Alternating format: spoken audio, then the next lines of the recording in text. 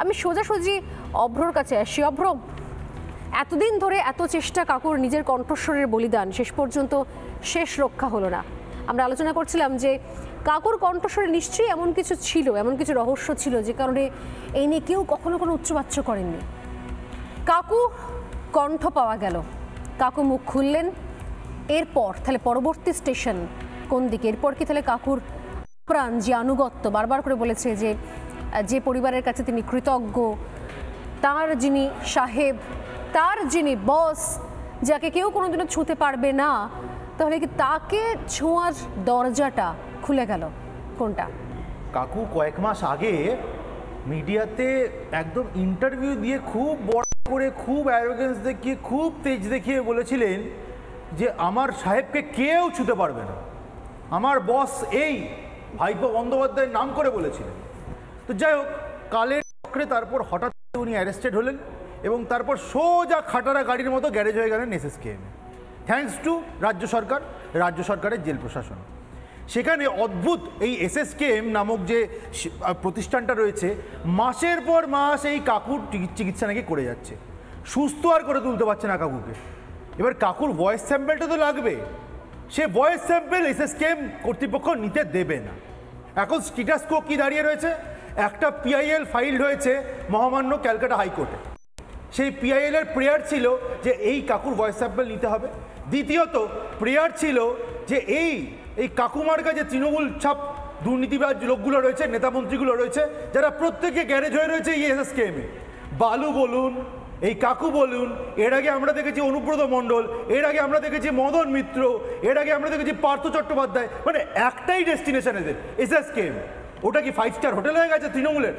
তৃণমূলের দু নম্বরই করা এই নেতাগুলোর কি ফাইভ স্টার হোটেল হয়ে গেছে? এটা একটা ক্যাটাগরিক্যাল প্রশ্ন থাকে।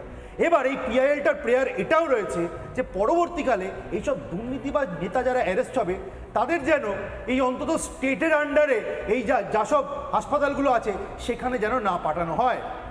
আমরা দেখব, আমরা তাকিয়ে থাকব হাইকোর্টের দিকে। এই যদি অর্ডার আসে, যদি ফেভারেবল অর্ডার আসে, যে সেন্ট্রাল অ্যাডমিনিস্ট্রেশনের আন্ডারের কোনো হাসপাতালে পাঠানো হবে, তাহলে কিন্তু অন্তত আমরা এটুকু এনশিওর হতে পারব যে রাজ্য প্রশাসন এসএসকেএম বা অন্যান্য হাসপাতালগুলোকে ঢাল হিসাবে ব্যবহার করবে না, যাতে এই কেন্দ্রীয় তদন্তকারী সংস্থাগুলো এভিডেন্স কালেক্ট না করতে পারে। একটা জিনিস বলি যে কণ্ঠস্বরের এতদিন কথা ফিরে পর্যন্ত আসি। এতদিন পর্যন্ত আপনারা বলতেন যে কোনো রাজ্যের কোনো হেভিওয়েট নেতা মন্ত্রী কারোর এসএসকেএমে যাওয়ার দরকার নেই। এসএসকেএম ছাড়া অন্য কোথাও গিয়ে চিকিৎসা করা অন্য কোনো অনেক জায়গা রয়েছে। কিন্তু ইনি তো তৃণমূল কংগ্রেসের হেভিওয়েট কোনো নেতা মন্ত্রীও ছিলেন না এমপি এমএলএও নন। কিন্তু সেক্ষেত্রে তিনি এতটাই তাহলে প্রভাবশালী ধরে নিতে হবে যে তিনি এতদিন পর্যন্ত এসএসকেএম এর বেড দখল করে যাবতীয় তার মাথার চুল থেকে পায়ের নখ পর্যন্ত সব কিছু ট্রিটমেন্ট করানোর পরও তার গলা থেকে সে এসএসকে আওয়াজ বার করতে পারলেন অথচ কেউ এ বিষয়ে কোনো প্রশ্ন তুলতে পারলেন না। অতএব এতটাই তাহলে প্রভাবশালী ধরে নিতে হবে।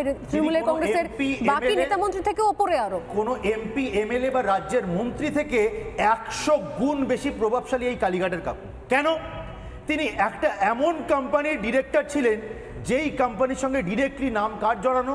ভাইপো বন্দ্যোপাধ্যায় তার মা এবং বাবা। মানে মুখ্যমন্ত্রী মমতা বন্দ্যোপাধ্যায়ের নিকটতম ফ্যামিলি নিকটতম আত্মীয়দের সঙ্গে এই লোকটি অতটা অঙ্গাঙ্গিকভাবে অ্যাসোসিয়েটেড যে কোনো মন্ত্রী, এমএলএ এমপির থেকে একশো গুণ বেশি প্রভাবশালী।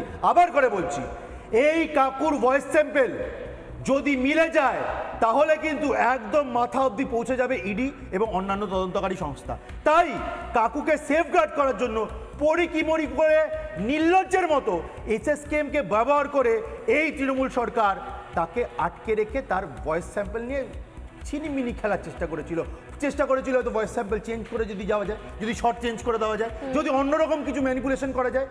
এই চেষ্টা ব্যর্থ হলো এবং আমরা চাই সাধারণ আপামর জনতা চায় যেন তৃণমূলের একের পর এক এই যে নোংরা প্রচেষ্টা তদন্তকে রোখার। এই দুর্নীতিবাজদের আড়াল করার সেই প্রচেষ্টাগুলো যেন সবকটা ধ্বংস হয় শেষ হয় ফেলিয়ার হয়। আপনারা চান বুঝলাম কিন্তু সেই প্রচেষ্টা ধ্বংস ফেলিয়ার হবেই বা কি করে যেখানে এরকম এসএস এর মতো এত অসাধারণ একটা সুপার স্পেশালিটি হাসপাতাল রয়েছে তাতে একাধিক দামি দামি ওয়ার্ড রয়েছে। আমি